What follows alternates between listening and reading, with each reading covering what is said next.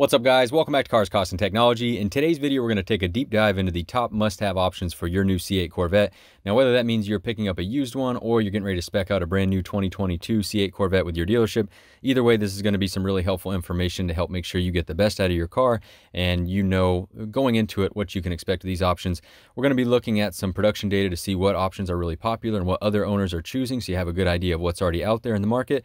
Then we're also going to go over some of my personal feedback on most of these options since I have, at this point, thankfully had an opportunity to drive five different C8 Corvettes with different configurations. Want to pass along my experience on all five of those and give a as unbiased review as I possibly can on each of these options to help you make a better decision on whether or not it's important for your particular car. Now, uh, before we get started, I do want to point out that the 2022 uh, C8 Corvette price configurator and build tool on the Chevrolet website is live, so I'm going to be referencing that throughout the video today. We'll have a link down below if you want to check that out after the video. Uh, go and spec out your own C8 Corvette where you can see some of the 2022 pricing, which I'm going to have in this video as well, and check out some of the options. But uh, anyways, glad to see that's up and uh, that 2022 production is getting going really cool to see we're moving on to this, you know, actually the third model year production for the C8 Corvette. Uh, seems like time really flies because I remember when this thing was just getting going on the first model year. But anyway, guys, let's go ahead and talk about some of these options. So I want to point out the obvious uh, to get things started if you're going to buy a C8 Corvette, first thing you're needing to decide is, am I going with coupe or convertible? Um, I do have a great video talking about the benefits of the convertible, sort of my comparison, my thoughts on going with coupe or convertible. I will say at this point, from a data perspective, the coupe is the more popular variant, but the convertible is definitely gaining traction. Uh, so check out that full video. I don't want to bore you guys when you're looking strictly for options information, but of course you want to make sure you fully understand the benefits of each variant. Now, as far as once you decide coupe or convertible, then you need to look into the trim level you're going to be going with. And you got 1LT, 2LT, and 3LT. My typical recommendation is going to be 2LT. And once again, I do have a full dedicated video just strictly talking about going with 2LT. So I'm not going to talk about that too much in depth. But uh, obviously, if price is not a, an issue, you can go with 3LT for a little more luxurious uh, interior. But as you can see here on this uh, information, all the features or options, technology packages, things like that are included in the 2LT. It's just the difference of, again, the uh, how luxurious the interior is, some of the trimming, uh, stitching, different materials used, things like that. So 2LT is a great value.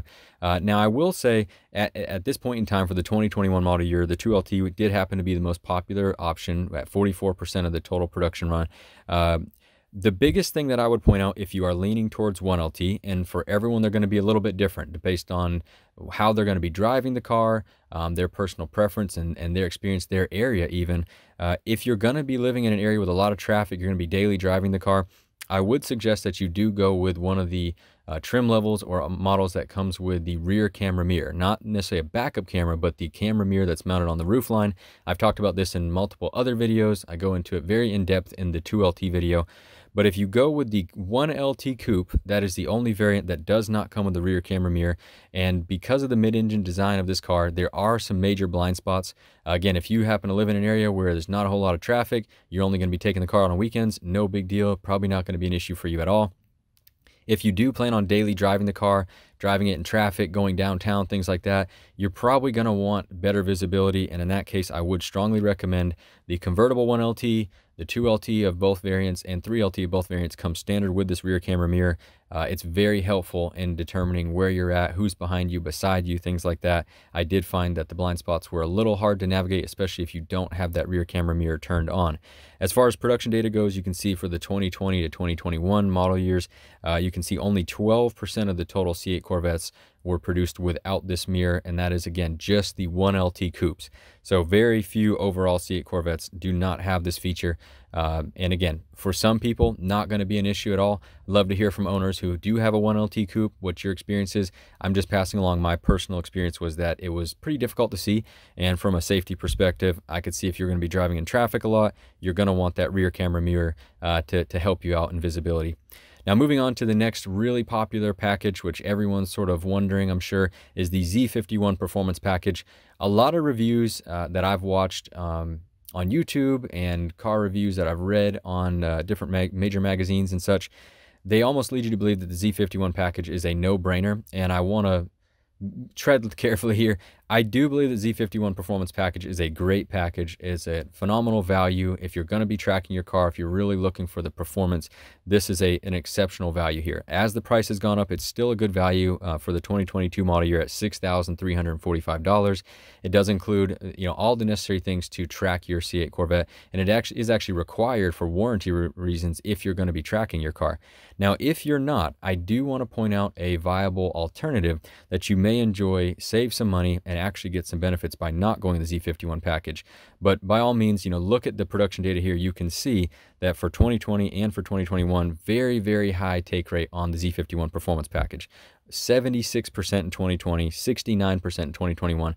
So the number speaks for itself. This is a popular option. And again, by no means am I trying to discourage people from going with it. Um, just wanted to sort of give shed some light on the fact that not all owners need to feel compelled to get this to think their car is going to perform well. If you wanted a nice alternative to Z51 and maybe allocate some of that money uh, to some other options you're interested in, what I would suggest is the performance exhaust option. Um, that's only about $1,200, and you can see as a standalone option, it is included in the Z51 performance package.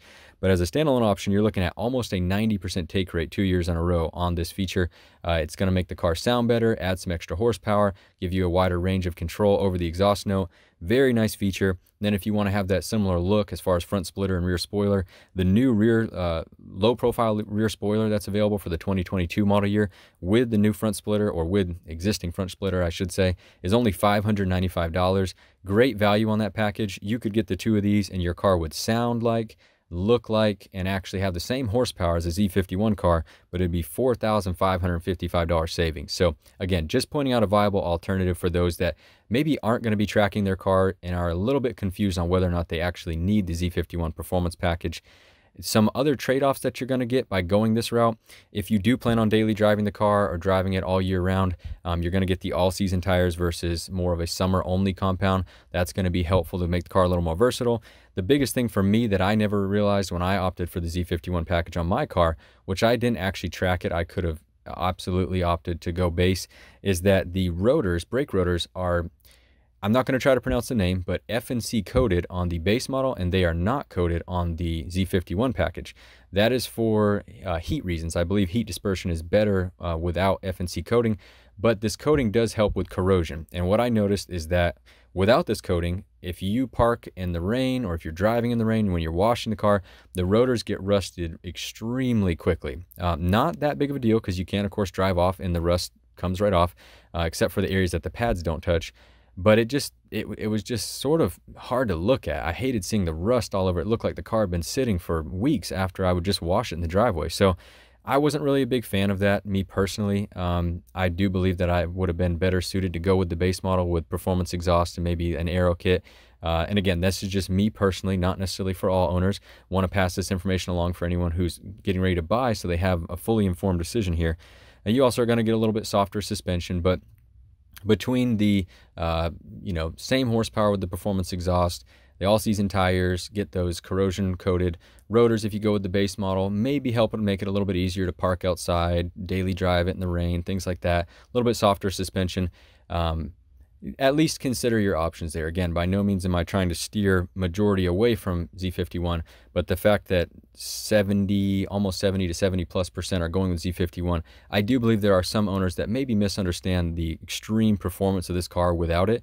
Uh, the 0 to 60 times and quarter mile times are very, very similar uh, almost identical actually in real world and you actually get a faster top speed without Z51 so again just trying to help save you guys some money that uh, $4,555 savings could go a long way in your interior uh, for some of the other things that we're going to talk about and help get the most out of your car versus just having performance options that you never actually end up using now, the next thing that I want to talk about goes alongside with the Z51 performance package and used to actually be a part of that package or the Z51 is required for it, and that's the mag ride or magnetic selective ride control.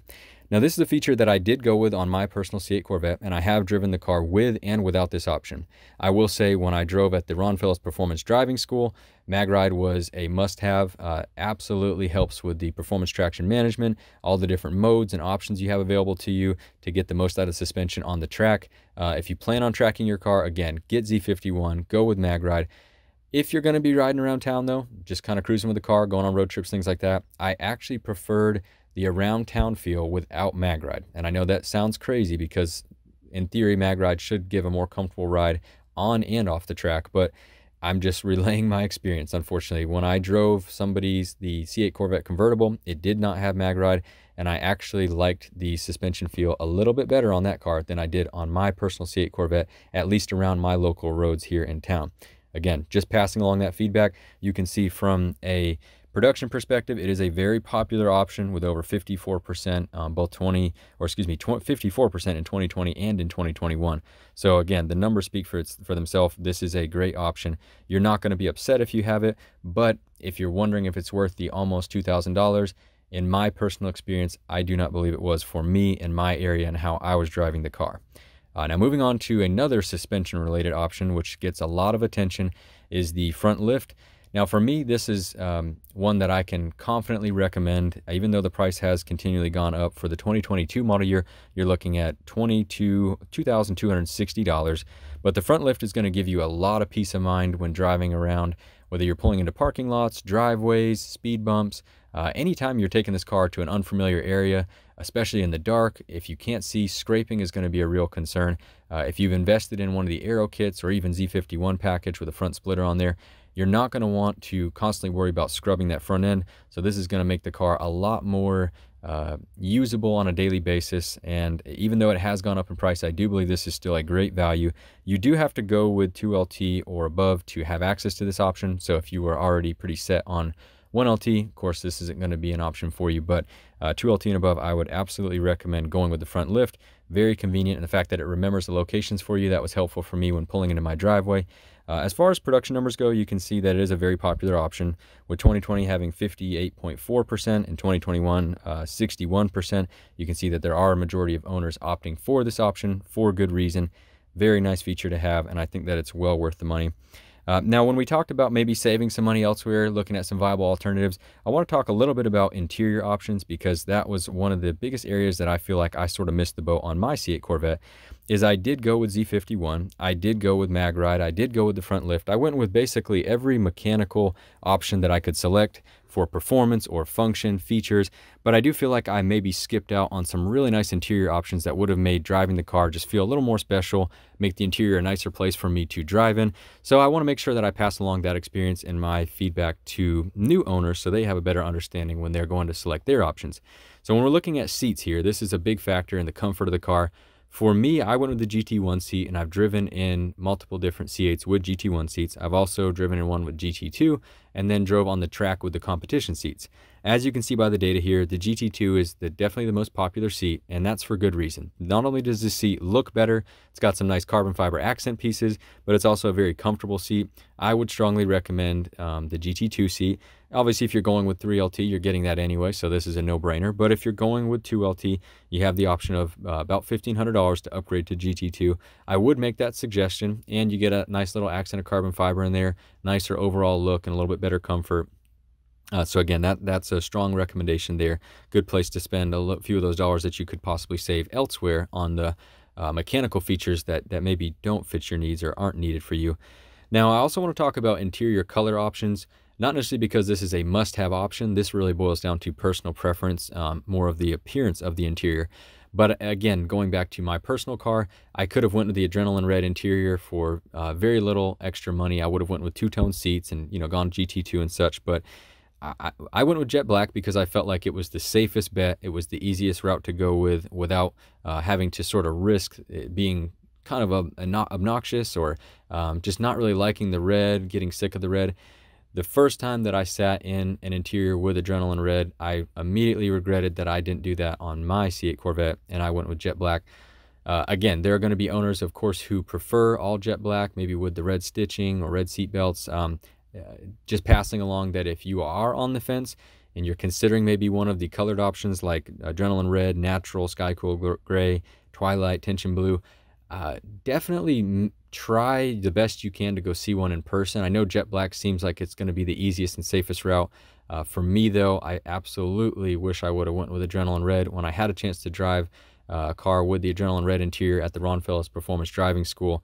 Absolutely love that interior. It looked phenomenal. Um, for my next uh, C8, uh, whatever it may be, Stingray, Z06, I, I'm not sure at this point. I am absolutely interested in one of the two-tone interiors, uh, Adrenaline Red or one of the other ones, depending on the color combination. Uh, so just want to pass that along. You can see by production numbers uh, in terms of popularity, Jet Black is of course most popular here, and I think again that may come back to it. It's one of the safer colors. You know, you can't really go wrong with that, so you're probably not going to regret it in terms of um, you don't like the look of the interior, but I think you'd be surprised if you saw one of the other colored options in person, how nice it can be and how much more special it can make the interior of the car feel. But anyway, guys, that is the major information that I wanted to cover. I hope that you found some of that information helpful in your process of deciding what options you're going to need. Uh, again, I know I shared a lot of personal opinions in here. I would love to hear the opinions of some other C8 owners who whether you disagree with me or agree with me, I think it's helpful to share some feedback for those who are trying to shop for a C8 Corvette, better understand what's going to be good for them based on some feedback they can get from those who have already had a chance to drive and own this car. But thanks so much for watching, guys. Uh, give the video a like if you did enjoy it. Share it with anyone who may be also in the shopping process or with your Corvette club. Uh, but uh, thanks again, guys. We'll talk to you next time. Look forward to discussing your feedback in the comments below. Have a great day.